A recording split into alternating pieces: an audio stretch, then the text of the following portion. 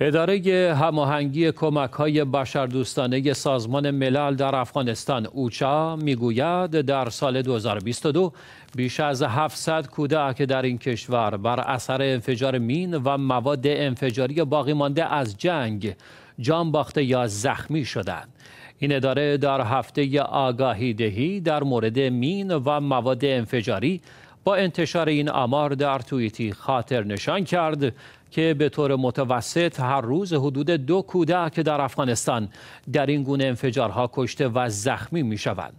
پیشتر اداره خدمات مبارزه با مین سازمان ملل در گزارشی گفته بود که از سال 1989 میلادی تا کنون نزدیک به 57 هزار غیر نظامی در افغانستان بر اثر انفجار انواع مین و بقایای مواد منفجره کشته یا زخمی شدند.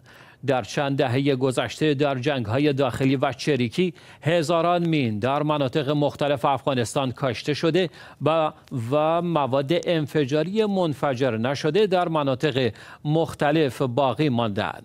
مینگذاری و استفاده از مینهای دستساز از تاکتیک های اصلی گروه طالبان به عنوان طرف اصلی جنگ در 20 سال گذشته بوده است.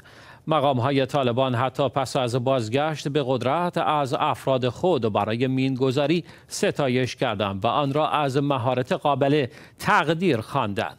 اوچا پیشتر اعلام کرده بود که افغانستان از نظر وجود مواد منفجره آلوده ترین کشور جهان است.